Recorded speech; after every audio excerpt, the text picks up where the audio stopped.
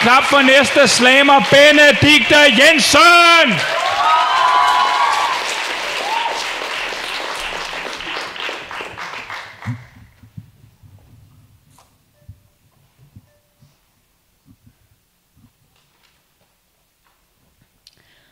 Min due.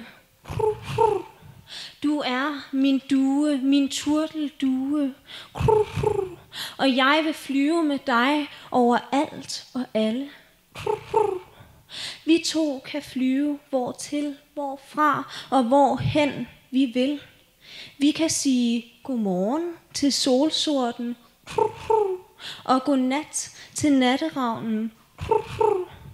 Vi kan flyve sammen og glemme alting.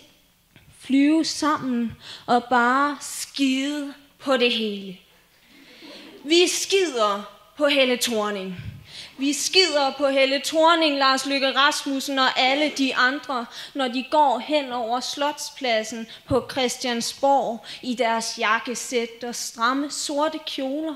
Vi skider på pressen, der venter på dem, og vi skider især på Pia Kærsgaard.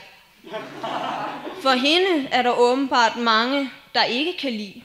Men vi ved ikke hvorfor, så dem skider vi også på. Vi skider på dronningen, min due. Skider på dronningen, når hun træder ud af krone 1 på Amalienborg i mørkeblå kjole og rød jakke. Fotograferne gisper og blitzene blinker, og alle siger, at det er os to, der har skidt på dronningen. Men vi er ligeglade. Og prins Henrik råber, Margrethe, Margrethe, og så skider vi på prins Henrik. Bare for god ordens skyld. Vi skider på Frederik den 7. min due. Skider på Frederik den 7. som han står der på torvet i Hillerød, helt klædt i grønt. En lille dreng viner, duerne skider, duerne skider. Han har jordbæris på ansigtet, jordbæris på hænderne og jordbæris på trøjen, og hans mor tysser på ham. Så vi skider på ham, og nu viner han af noget ganske andet.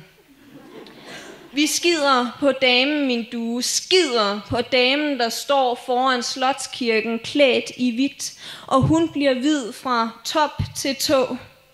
Manden ved hendes side klager og jamrer noget om Barbados og bryllupsrejse.